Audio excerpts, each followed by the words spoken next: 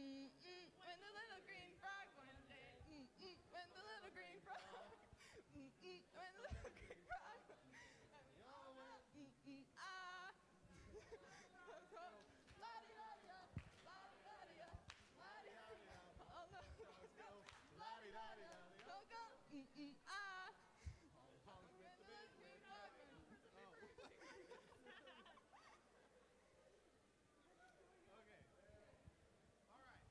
Hello. If everyone could sit down, please, and thank you. and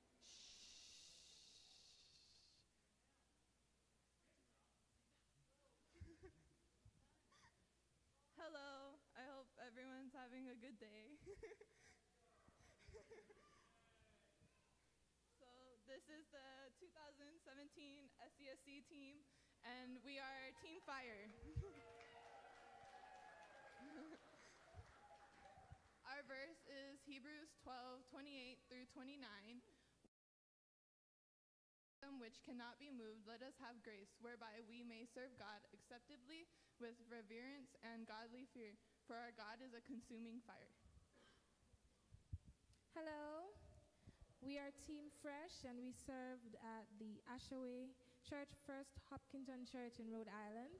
And I'm Victoria Richards and I'm from the Blue Mountain Seventh day Baptist Church in Jamaica. And I am Randy Gammons from the Texarkana Seventh day Baptist Church. And our team verse is 2 Corinthians 5 17 and 18. Therefore, if any man be in Christ, he is a new creature. Old things are passed away. Behold, all things become new. And all things are of God, who hath reconciled us to himself by Jesus Christ, and hath given us unto a ministry of reconciliation.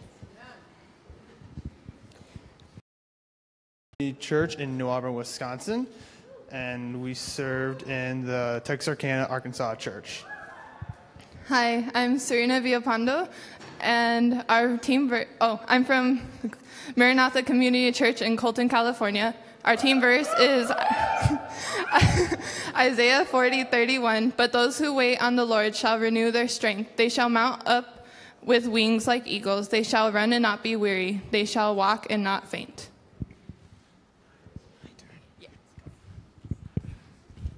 Hello again, everyone. Hello. so, serving in the SCSC this year was an honor, one that I am thankful for, because it is my first time and also my first time leaving Jamaica. I have learned so much during this the past couple of weeks. I have learned about more about the good news of salvation, more about honoring and keeping the Sabbath, more about spreading Jesus Christ to each and every one. And I just want to encourage us all that as we leave here this week that we promote SCSC in our churches so that other young persons may come and learn and experience this wonderful time in the Lord and to meet new friends. It's such a great opportunity that they will not want to miss.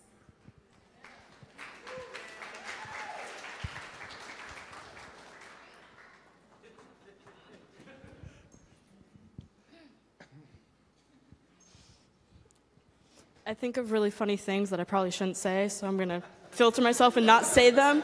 So you can ask me later when I'm not on stage with the mic. Um, mine's gonna go a little bit longer.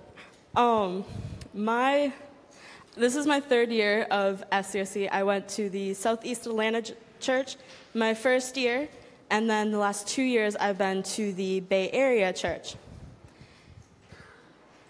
I did not grow up with the SDB culture, so I didn't know any of the dances, the songs, anything. And I had helped lead youth group and been a part of that and a couple other things, like I just fill things when they needed to be filled and supervise things, which I don't know who lets 18 year olds supervise things, but that was me. Um, so when I went for my first year of SCSC, training was really hard because you learn all the songs, and they were all new for me. And at my church, we didn't do any of the songs, so they were really new for me. And then I went to my project, and I thought I knew how to lead because I had helped lead things, but I didn't. So anything good that came out of that year was definitely God, and I had to rely solely on God because I didn't know what I was doing, and I was way over my head, and they were letting 18 year olds lead things, which is great, and most 18 year olds can do things. I could not. I probably shouldn't have. And I came back, and they still let me lead things. Then they let me lead things more. It's just this crazy thing of me leading more things. I seem to be doing good at it because they keep asking. But it's just really hard because you, you do get pushed with SCSC. It is a growing experience, and you wouldn't trade it for anything. But while you're in it, you're like, you know, you're in over your head, and you, you have to pray like every day, 24 7. Like, kids would show up, pray. Have to talk to a child, pray. Like, every aspect of it was prayer, constant prayer. And it turned out okay because of God. And that's the only reason it turned out okay, was because of God. And it's because of God that they keep asking me to lead things because I let God lead me. And that was one of the things that SCSC taught me was I'm a vessel, God is leading, it is not me. And that was one of the coolest things that I learned through SCSC was it's not me, it is God.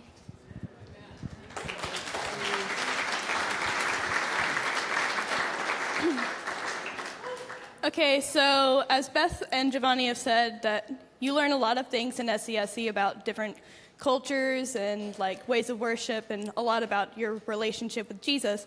And so we just wanted to share a lot of that with you guys today, and so we put together a video for you guys to watch.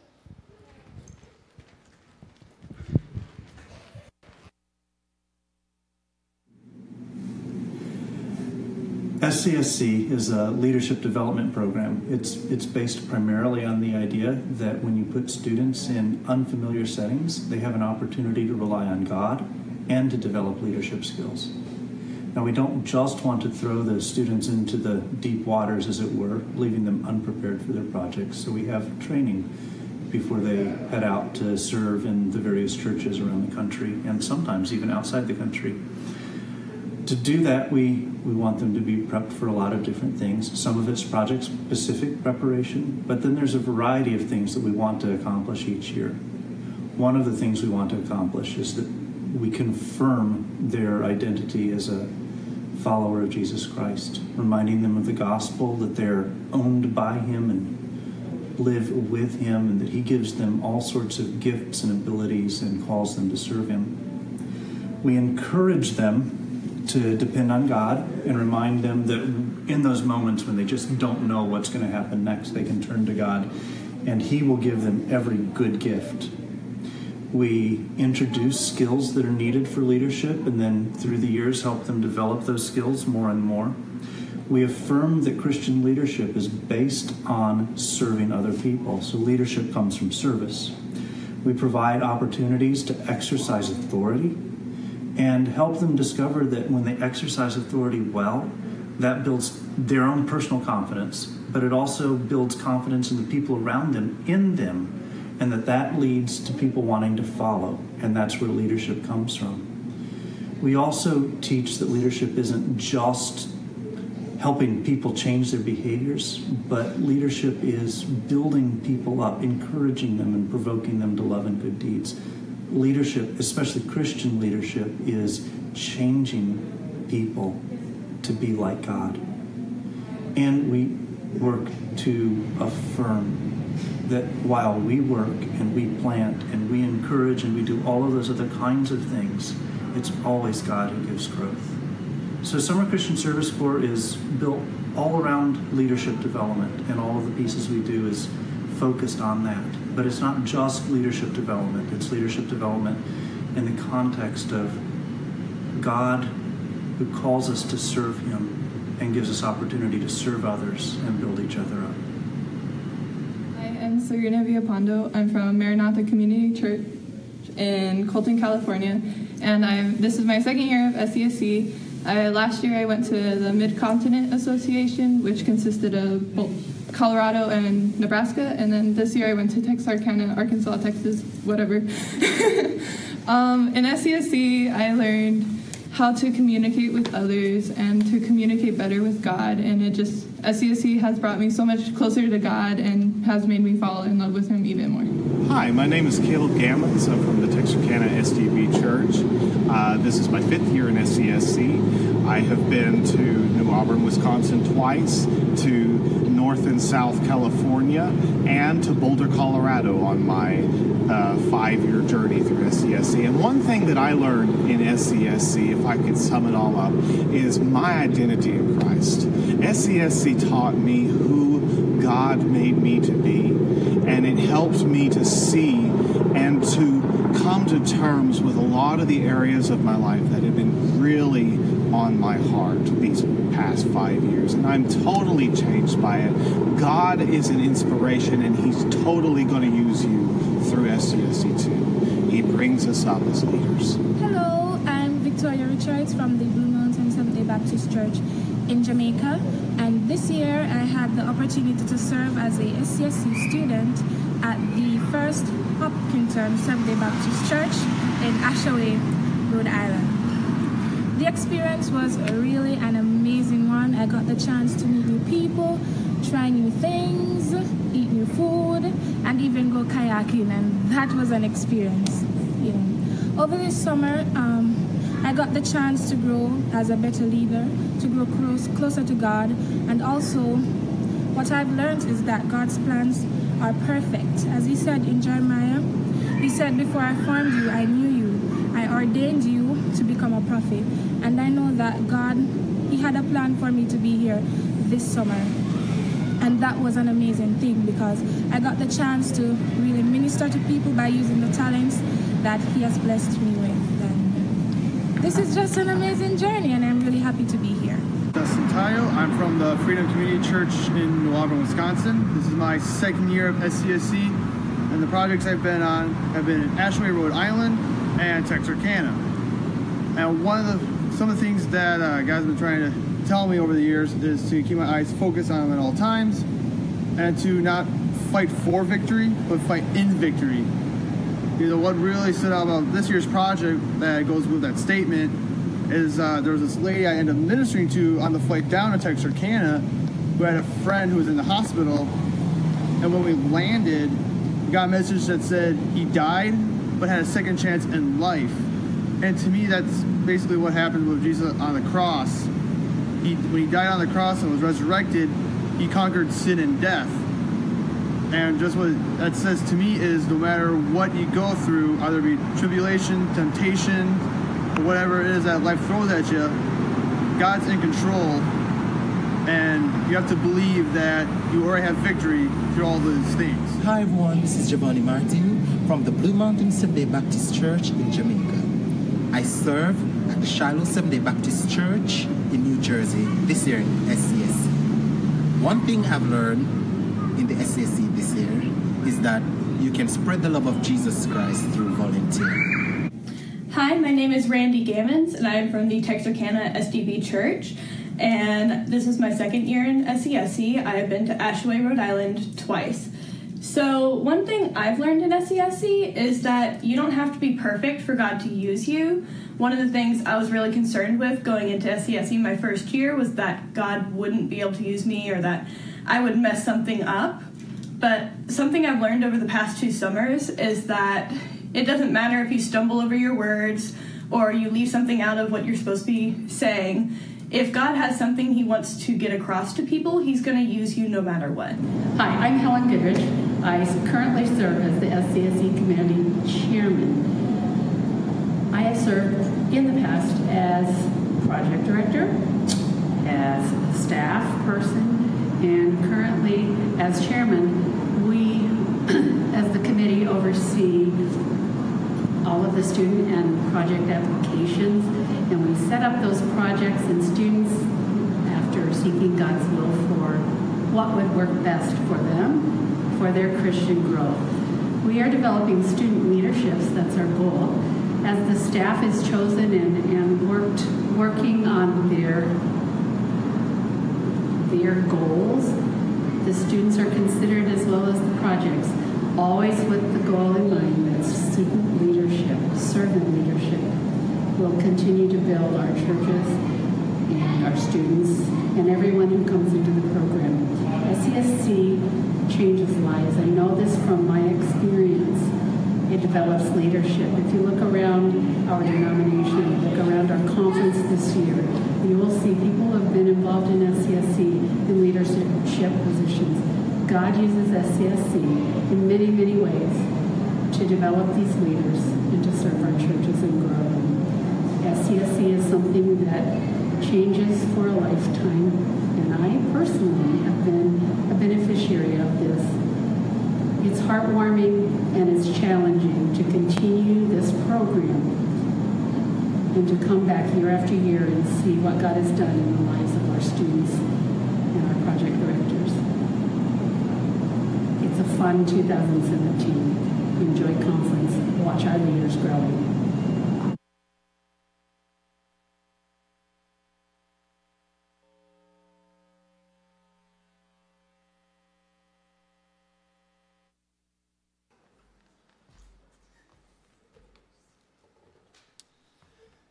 This presentation is brought to you by SCSC Sunglasses because our future is bright.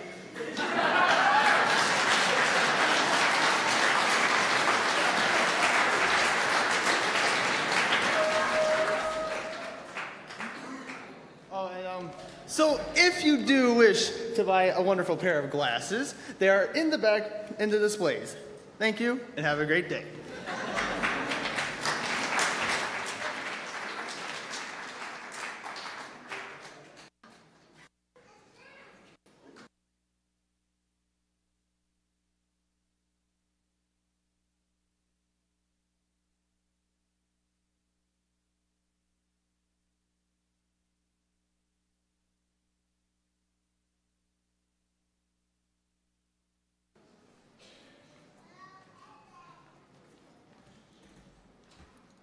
Some people really appreciate silence. Sometimes silence can really capture you. But just try to sit silent in a room for several minutes. We have a few announcements Rob Appel is going to share with us, and we will um, just pause for a few minutes. Uh, our program will begin um, just before 7, but right now we do have announcements. Announcements, and a number of, A announcements. number of announcements, important things for people to be aware of. Okay, number one, um, I was asked by uh, some of the folks in the display area, they have up hours um, that they would like to have that open. And the idea is that you would not be wandering around back there, but you would be in here during presentations. And so they're posted on the table, the, the far end of the table as you go in. And if you go in there and you see the hours, what the hours are, please be sensitive to that. We do want you to go in. We do want you to be able to take uh, logoed merchandise back home with you. So we're not saying don't go in there, but we're just saying that um, we'd like you to do that and be sensitive of that area and sensitive to the folks out here. And at the same time, if you see something and you're in there, that area and you see something you like, don't just put money down on the table and walk off because um, that money could walk off later too.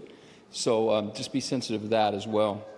Um, starting tomorrow, registration will be downstairs across the sidewalk in MM6, Multimedia 6. So if you need somebody from registration, they'll be over there. However, they're going to be limited hours and limited staff. This is a small campus. They will be around. If you need someone, call, and they will get there. Um, a number of folks have been going to the folks in registration to talk about things that have to do with maintenance or cleanliness. Go directly to Trinity Hall and talk to the university staff people. Our folks in registration don't have the ability to do anything as far as cleaning, and they're just going to pass it on to those folks anyway. Cut to the chase, go to Trinity, talk to them. As soon as you go into Trinity, there's an office there, and there's supposed to be folks there clear into 1 a.m. So if you're having problems even at night, you can still go there at 1 a.m., and they're supposed to be staffed. Um, printing for interest committees. Um, go to the registration area. Uh, there will be a printer there that you can use. If you can't find someone from there, find John Pethel, Nick Kersten, myself. We will make sure that you get the copies for uh, re- before uh, prior to reporting your interest committee uh, information. Lost and found. Yes, we do have some lost items already. They are with the registrar's office as well. So go there to where registration is um, and you can claim your items that you've lost. Um, we have a need for cart drivers. If you are over 18 years of age, I'm sorry, that was a test. If you're over 25 years of age, um, we need help with cart drivers. Um, you need to see Eric Anabnet. Um, he was, he's the primary. His brother Jeff is another, and Leroy Burdick is another driver. But you can see any of those, but Eric is the primary. And if you're willing to drive cart for a while, uh, we need some cart drivers. And the last thing I have is I told you there was a number of things here. Um, coffee house. There's a coffee house uh, coming up, and um, there's going to be a sign up sheet for it. And Zach Floyd, is Zach in here? Zach. Zach Floyd is the, the one that you need to see about signing up. Stand up, Zach. You need to, if you want to do something at the coffee house, that's the guy to see. Uh, are, you, are you planning on doing a sheet anywhere for them? To, hmm? Okay. All right. But he's the guy to talk to if you're interested in the coffee house. All right. Thank you. We have a wonderful choir now that's going to assemble over in the choir area, but I thought of a couple other uh, commercials that I might offer here since maybe this a few minutes is free for commercials. Um, first of all, just to remind you, the Women's Board is going to meet tonight after the evening and the evening reception, and the reception will occur over here, and I think they're going to be meeting over there. So, oh, pardon? The society. I'm sorry, the society. I've got to get the right ending there. And um, so invite women, all women that are interested in the doings and the creative future of our women's um, society to feel free to come and plan to join us. Tomorrow night is the youth Somebody and the youth um, and pastors basketball game. I'm looking for a captain of both teams. If you could come find me so that I could get your T-shirts to you, so you can dress for the occasion, and then we'll all be enjoying uh, having the opportunity to cheer our favorite age sector and gender that will be playing. And then, last but not least, uh, for the advertising, just to remind you that Wednesday night after the evening presentation, we um, Kathy Prodetto um, is uh, partners with a filming company that uh, runs First Line Christian Movies, and they have agreed to come Wednesday evening to show a First Line Christian film, and I believe some of the actors are coming to share their testimonies and how they serve God through media and visual movies and let us enjoy that film. So just put on your agendas if you are deciding whether you're going to go to bed early or stay up really late and you want to partake in some of these things that might take you into the little later hours. There's part of the refreshment time of what we have for you at conference this year, enjoying fellowship and um, a little movie night with your family. So, just a few minutes, um, the choir will present the opening song for this evening's worship. And thank you again for being here this evening. My brain, somebody is missing a key, and these are 50 bucks. So if you're missing your key, you need to come see me. I'm pretty visible, so you'll probably know. All right?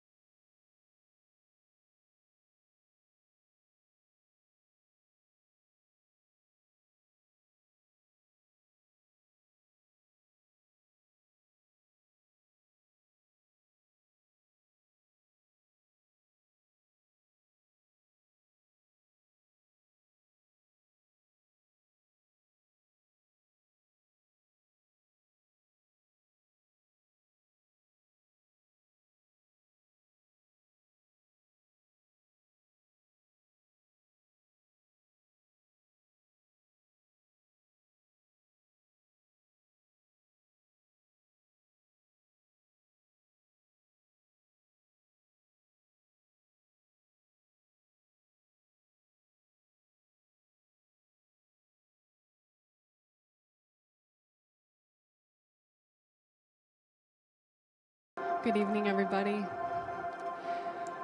Uh, we're going to lead worship from over here. So you have plenty of view for the words, and you're going to know most of the songs. So if you just want to stand with us as we begin worship this, this evening, God, you can have your way here. Lord, we love to worship you. You have given us so many beautiful voices in this room, God, that just want to pour out to you. And um, we just give you thanks, God, for this space and time to just unite as family. It's just so good to be home. And I just, I just thank you for all the love and just for all the ways that I've been seeing you move here. And um, we're just really grateful, God.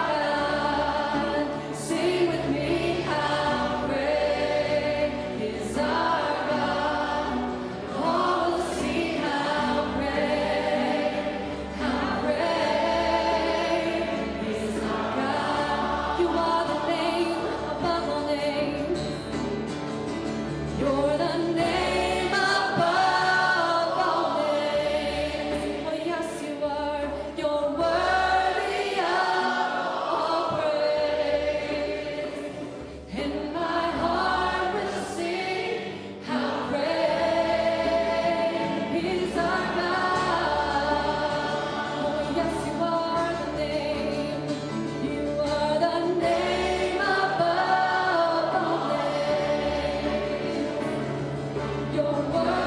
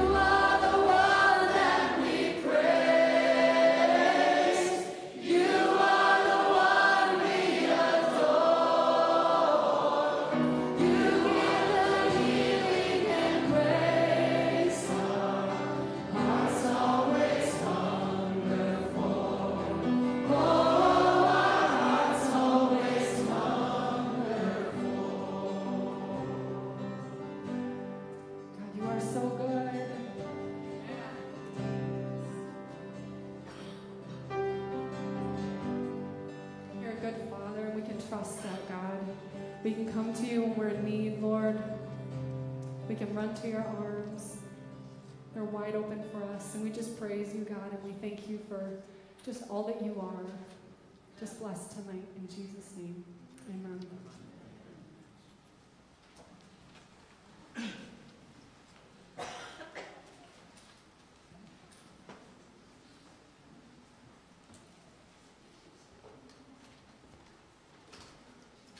Guys, I almost died. True story. 60 miles that way, 29, math is hard, and I got it wrong, 27 years ago. I was uh, in Malibu, for me, that's very sad. I was in Malibu and I was swimming in the ocean. And if you've been swimming at the ocean in Malibu, as you all have, and if you haven't, now's the time, right? Uh, swimming in the ocean, and Malibu has a massive rip tide, and I was nine years old. So I'm out, you know, totally surfing the waves. I'm nine, splashing in the water. And, uh, and the rip tide just grabs me and sweeps my legs right out from under me, and now I'm underwater. And, and, and you don't swim against the riptide, but all that knowledge goes out of your mind, right? And you're just fighting for your life, trying to get up, holding your breath as best you can, but it caught you by surprise, so now you're underwater, and you're thinking, I'm thinking, I'm gonna die. This is how I go. Well, we were at the beach because uh, my third grade class had a pen pal relationship with a sixth grade class in Malibu. And so my pen pal was right next to me when I went under, right? And, and he picks me up out of the water. You've seen sixth grade, so he's huge, right?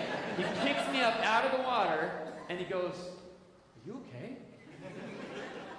And I'm like throwing up water, right? But I totally play it cool. Oh, yeah, I'm, I'm fine. I definitely was not about to die. No problem, right? And I went around and, and, and played the rest of the day. But I will never forget that day. And I will never forget that boy, that young man who saved my life. Todd? Maybe Andrew?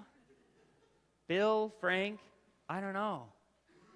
I don't know. And it might, I'm not sure if it was a Tuesday or a Wednesday. It was definitely during the day because they don't send school kids out to swim at night. Uh, it's all, uh, to be honest, it's all a little bit vague. But you know what? Maybe that boy's name was Jesus. No, I'm thinking Todd. I'm thinking Todd. Uh, so it's all it's so far back, right? It's all kind of vague and mysterious, and and the the urgency and the the passion and everything, the the commitment. I was like, this guy's going to be my lifelong pen pal, right? But that's all faded away now. That's so far back in my past.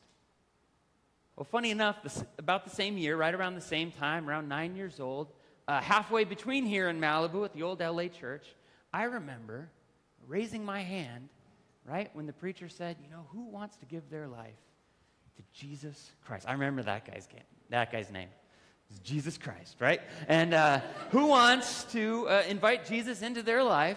And I raised my hand, right? And, and we prayed that prayer, and it was glorious. And I remember feeling things at that time. And, and I remember the next week and there being another altar call, and I was in on that one too. You guys know that story. You do it again and again. And, and, and I remember those moments, but the urgency of those moments fades, doesn't it? Has anyone here been saved in this past year? They gave their life to Jesus for the first time in the past year? Awesome. How about the last five years? Ten? A Few more?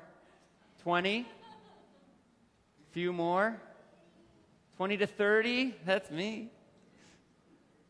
40? 50? In the last 112 years. How many? In the last 112 years? Look, if you don't see a hand up, we might have a talk with them about, you know, receiving Jesus as their Lord and Savior.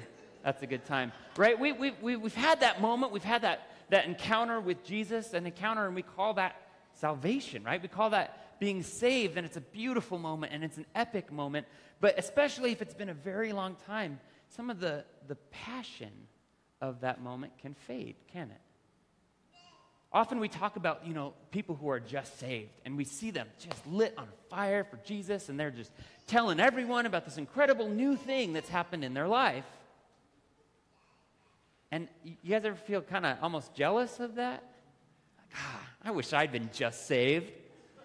then I'd be all passionate and stuff like they are. How can we be passionate in our life on mission? How can we feel an urgency in our life on mission if, if our salvation was kind of far away and vague and distant? How can we feel that passion? Uh, well, our scripture today doesn't help us at all, unfortunately. Because it's about this guy named Peter who's like crazy on fire for Jesus. He's in, he's in the midst of his salvation. It's all fresh and it's all new, and he's just on fire and, and preaching for the Lord. And we're going to pick up his story in Acts 3, right? This is the beginning of the church. This is a beautiful thing. And, and, uh, and Peter and John, they are going up to the temple. Acts chapter 3, starting in verse 1. Peter and John were going up to the temple at the hour of prayer, the ninth hour. And a man lame from birth, man, that guy was lame. he was being carried, whom they laid daily at the gate of the temple that is called the Beautiful Gate, to ask alms of those entering the temple. Seeing Peter and John about to go into the temple, he asked to receive alms. And Peter directed his gaze at him, as did John, and said, Look at us. I'm pretty sure he did this. That's across time and space. Look at us. And he fixed his attention on them, expecting to receive something from them. But Peter said, I have no silver and gold, but what I do have I give to you. In the name of Jesus Christ of Nazareth, rise up and walk. And he took him by the right hand and raised him up, and immediately his feet and ankles were made strong. And leaping up, he stood and began to walk and entered the temple with them, walking and leaping and praising God. Amen? You know what's cool? They made it into a musical. Sing it with me here. Silver and gold have I none, but such as I have I give thee. In the name of Jesus Christ of Nazareth, rise up and walk. He went walking and leaping and praising God. All right, stop. That's, that's. The scripture only says it once. Incredible miracle, right? Incredible just act of God, and Peter's there, and the, the faith in that, and the passion in that, and the courage in that. And then he's not done because he goes and he's just preaching. He preaches up a storm, and thousands of people believe. Thousands of people come and place their faith in Jesus as Lord and Savior. And Peter and John, they're seeing all these people being saved. And the, and the religious leaders, they don't like this, right? Because they thought they took care of this problem. Just a little while ago, right? They crucified Jesus to try to put a cap on this, to put a lid on this, to quiet this whole mess down. And here's Peter and John, and they're just, they're doing miracles and they're making disciples under the influence of the Holy Spirit, right? Discipling under the influence, that's a DUI, that's illegal. And they, they arrest them. It's a true story. They arrest those guys and they put them in jail for one night. That's standard, right? Standard. All right, so we pick it up in John chapter 4. And now uh, uh, Peter and John have been dragged in front of, of the religious leaders. In John chapter 4, verse 5, it says, On the next day, so they've been cooling off in jail all night long, right? On the next day, the rulers and elders and scribes gathered together in Jerusalem with Annas the high priest and Caiaphas. Those names should sound familiar because these are the guys who are orchestrating the crucifixion of Jesus, calling for the Roman government to sentence Jesus to death uh, Caiaphas and John and Alexander, we don't know who those guys are, and all who were of the high priestly family. And when they had set them in the midst, they inquired, By what power or by what name did you do this? Guys, this is a desperate situation, right? These are, I mean, uh, Peter and John were the guys who were in the room when uh, An- Annas and Caiaphas were interviewing Jesus right? They were the one who were there. They know these are the guys that orchestrated the death of Jesus. We are in a desperate situation. This is not good. This could go in a very bad direction. But they are not afraid. Somehow. In fact, we know how. It says, right? They saw, uh, I skipped. Then Peter, uh, verse 8, then Peter, he's filled with the Holy Spirit. Filled with the Holy Spirit, and he said to them, Rulers of the people and elders, if we're being examined today concerning a good deed done to a crippled man, by what means this man has been healed, let it be known to all of you and to all the people of Israel that by the name of Jesus, Jesus Christ of Nazareth, whom you crucified, you guys, whom you crucified, whom God raised from the dead, by him this man is standing before you well. This Jesus is the stone that was rejected by you, the builders, which has become the cornerstone, and there is salvation in no one else, for there is no other name under heaven given among men by which we must be saved. Whew. That is awesome. Right? Filled with the Holy Spirit. And we, so we know, I mean, the, that passion, all that comes, it's just pouring out of him, right? But there is a boldness there, there is a passion there in the midst of desperation. To say that, that who, by what right, by what name, by what power was this man saved? Jesus. It was Jesus. That guy. That guy, that guy that you killed, that guy who, whose name has been a black mark, that maybe a name we should be ashamed of, but I'm not ashamed, right? Jesus is the name. And, and, and, and he kind of explains his own passion. He explains why he's so passionate about this name, about this person. He says, because there's no one else who could do this. It's Jesus because there's no other name by which we may be saved. Jesus is passionate, or Peter is passionate about the name of Jesus because he knows by Jesus alone may we be saved. It's Peter's salvation, right? And seeing the salvation of Jesus in his life and in others' lives, that, that he, he, he learns that boldness, he learns that courage, he learns, he learns that there's, there's no other way. How did he learn that? How did he get that passion? How does he, how does he, he's living life on edge, life on mission. In desperate situations, he's speaking and preaching boldly. How does he get that? How did he learn that? Well, the day before, he healed a man. He saw Jesus save someone. That's incredible. Now, I know that Peter was a holier man than I and had greater faith than I.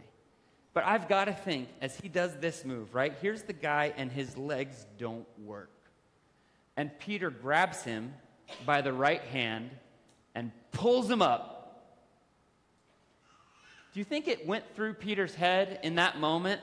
I really hope this works. Because this is going to look really bad, right? Get up and walk.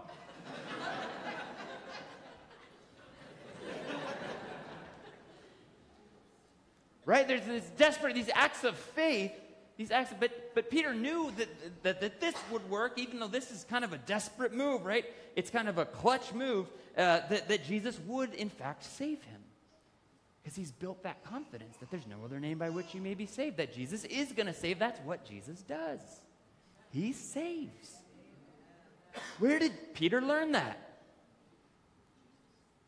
Jesus, sure, but, but a, a month earlier, right? Uh, Peter is destitute. He's in a desperate spot again because Jesus is dead. And that's not good for Peter. Right? He is he's the guy who goes into the tomb, looks around, no body, I don't know, and he leaves wondering. And then Jesus shows up. He's in a room with the other disciples, afraid of those same religious leaders. But Jesus shows up and Jesus saves. In fact, Peter's a guy, I love him. He keeps doing stupid stuff, and Jesus keeps saving the guy over and over and over again. Right? When do you think Peter was saved? You know, what, what's Peter's date of salvation? When did Peter put his faith in Jesus? We don't know exactly. But I know this Jesus saves Peter over and over and over and over again. And we hear Peter speaking the words. We hear when Jesus starts to say crazy stuff like, hey guys, eat my flesh and drink my blood. And most of his disciples go, dude, I'm out. That's weird. And everyone, and even the disciples, were troubled. This is weird. And Jesus says, Are you going to leave too? You know what Peter says? Where else can we go? Where else could we go? You've got the words of life. And we believe you are the Holy One of God. That sounds a lot like there is no other name by which we may be saved. Which says this Peter has been learning this and learning this and learning this. And it looks like this. It looks like this. You're following Jesus, and that's life on mission, right? You're following Jesus, life on mission. And, and, and following Jesus, life on mission, will always send you into a, a desperate place, terrifying place. Because that's the kind of place Jesus goes, right? Desperate place, I need to be saved. And then Jesus saves. Now you can't see my face, I'm over here. All right? Jesus saves. And that awakens the passion within you and gives you the courage to then step into greater life on mission, right? But then that takes you to scary and dangerous places. And you reach the end of yourself and you say, I need to be saved. And Jesus saves, which gives you passion, which leads you on to life on mission. And you go like this. It's this upward spiral, right? And, and it, it begins in that moment we think of, you know, we think of this is my salvation. This is when I was saved. It begins when our desperate place is lost in sin and death and separated from, forever from God, right? And Jesus saves, right? And we enter. He sends us into the world on his mission. And we have that passion. But guys, salvation doesn't stop there. We were saved and Jesus saved us. We still get saved and Jesus continues to save us. We will be saved and he will save us. I have a very complicated definition for salvation. You guess what it is? When Jesus saves you. In big ways, epic, forever ways, and in small ways, right? In ministry ways, in, in eternity ways, all of it, all of it together. It's pervasive, right? It's past, present, it's future. It's salvation, and Jesus saves, and He saves, and He saves. Jesus saves us. That continuity of salvation should be building passion within us and building courage to step into desperate situations because we've been in desperate situations again and again and again and again. I'm not making this stuff up. Later, Peter writes it down. 1 Peter chapter 1. He starts to capture this idea uh, and, and, familiar words, uh, starting in 1 Peter chapter 1, starting in verse 6. In this you rejoice. What's the this? So, all of you who have your Bibles open, you get 10 Jesus points. But you could look up and see chapter 5, because I didn't, or verse 5, I didn't put it up there, right? He's already talking about salvation.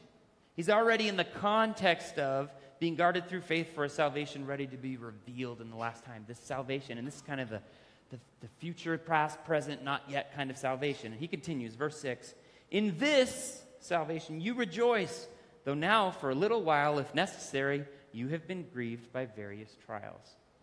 That sounds like desperate situations. You've been grieved by various trials so that the tested genuineness of your faith, more precious than gold that perish, perishes, though it is tested by fire, it may be found to result in praise and glory and honor at the revelation of Jesus Christ. That's Jesus actively making himself known in your life, not just then, but now. The revelation, ongoing, present, revelation of Jesus Christ. Though you've not seen him, it creates within you, you love him. You love him. Though you do not now see him, you believe in him and rejoice with joy that is inexpressible. That's where you run out of words. It's inexpressible. I can't even tell you guys how much joy has been built within me, Peter says. I can't even express how much joy I have in the salvation of Jesus Christ that I've learned through times of trial. inexpressible joy, filled with glory, obtaining the outcome of your faith, the goal of your faith, the result of your faith, the purpose of your faith, the destination of your faith, the telos of your faith, the outcome of your faith, the salvation of your souls. Peter, at this point, has been riding this spiral for a while, right? He is on fire. He is passionate. He is living out life on mission, and he's fearless. He's willing to go anywhere because he's been everywhere, and Jesus showed up and saved. He's willing to talk to anyone because he's talked to everyone, and he's seen Jesus step into their life and do what? Save. All week long, we're talking about life on mission, life on mission. We only have life because Jesus saved us, right? We only have mission because Jesus sent us. And what did he send us to do? Bring his salvation to everyone else. Jesus wants to save. He saved you, and he wants to save all. How can we reawaken the passion of our salvation? It's to realize that it's not something that happened long ago. Jesus saved, and he saves, and he will save. Every time he saved me, right?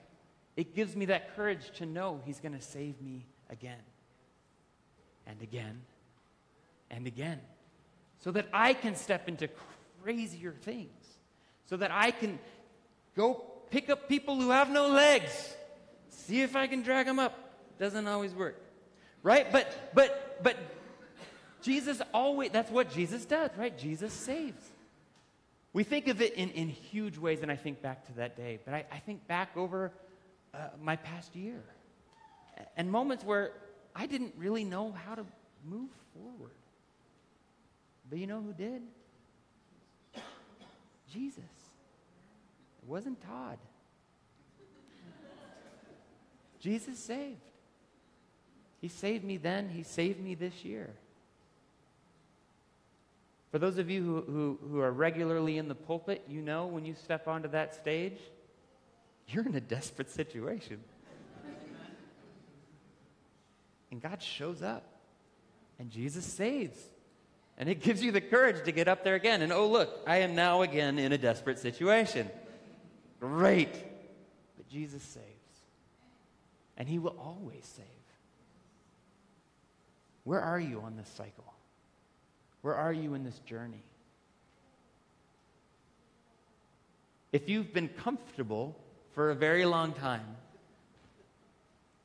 and you haven't found yourself in a desperate situation, I encourage you to enter into this thing called life on mission. It may be mission to your neighbor, it may be mission on the other side of the world, it may be mission to the teller at Walmart. But you step into mission, you're going to find yourself in a desperate situation very quickly. If you're in a desperate situation, don't believe me, believe Peter. Peter, who says, Oh, guys, this is going to be good.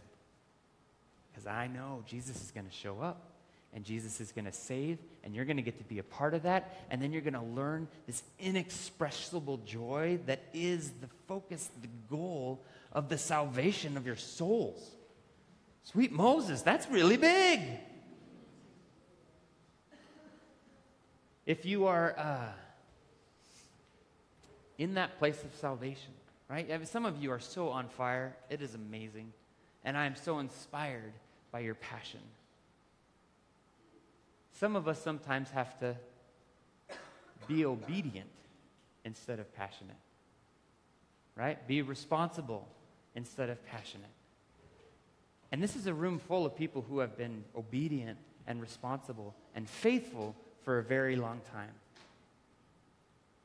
My prayer this week, as we're talking about life on mission, is that Jesus would reawaken within us the inexpressible joy of our salvation. I'm going to have the worship team come forward, and uh, I want to do a little exercise.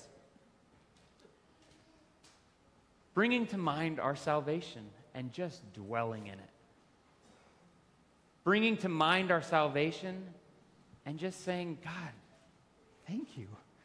Jesus, thank you. I'm going to give you three things to kind of hold in your mind, and we'll have some, some uh, reflective music for a bit, and then we're just going to worship. But uh, three things. I want you to reach back to that day, however long ago, that you first put your faith in Jesus Christ. Reach back, and you may not, like me, you may not be able to picture many of the details, but you can picture Jesus.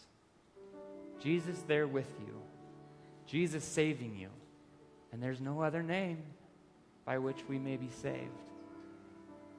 Reach back to that day, and, I, and, and then I want you to pick a day in the last two years, all right? A bad day, a bad week, a bad season, a, a time of desperation.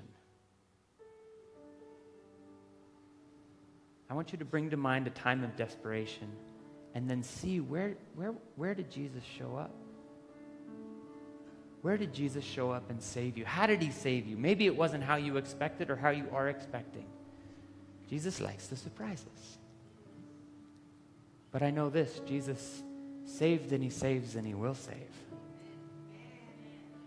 Where did and how did Jesus save you? And say, Thank you, Jesus. And then this may be harder. I want you to picture today. And maybe it was a big thing and maybe it was a little thing, right? But Jesus was with you today. And you know what Jesus does when he shows up? He saves. Where's Jesus been today? Maybe it was a word spoken earlier today. Maybe it was a worship song. Maybe it was an encounter. Maybe it was that awesome tree that goes horizontal for like 15 feet. Thank you, Jesus. That's amazing.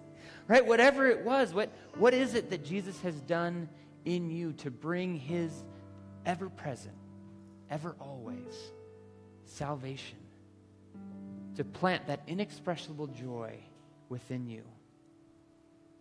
Take a few moments to work through those three things and just say, Thank you, Jesus, for saving me. Yesterday, last year, today. Thank you, Jesus, for always saving me, for there's no other name by which we may be saved. Amen.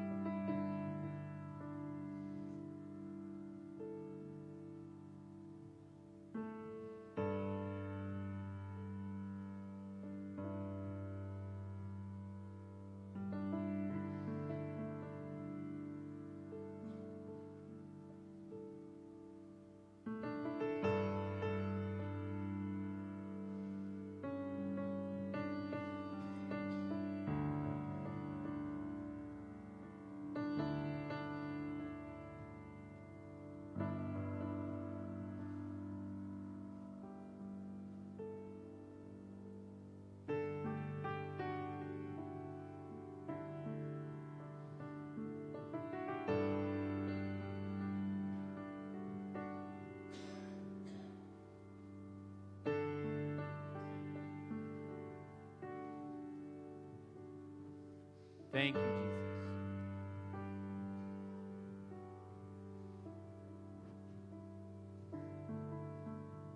Thank you, Jesus, for saving us.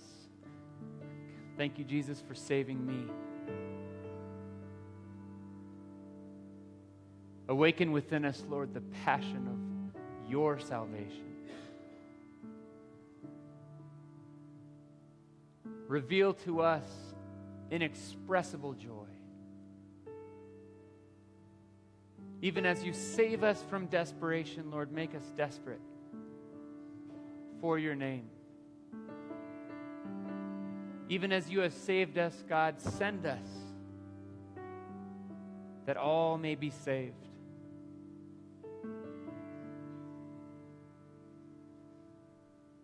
Breathe into us life, breathe into us passion. In your name, the only name by which we may be saved. We worship you, O Jesus. Amen.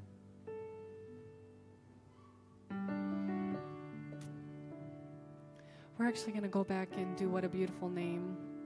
I think it might have been a new song for a lot of you, but maybe some of these lyrics will just resound a little bit, um, maybe a little bit differently in your heart. And I know we're missing part of the, the verse there, so I'm going to try to um, speak it out to you, but it's just so powerful. Death could not hold you, the veil tore before you. You silenced the boast of sin and grave. The heavens are roaring, the praise of your glory, for you are raised to life again. You have no rival, you have no equal. Now and forever, God, you reign. Yours is the kingdom, yours is the glory, yours is the name above all names. It's this name, this powerful God that's in love with us that we can worship. So just stand with us as we sing this song.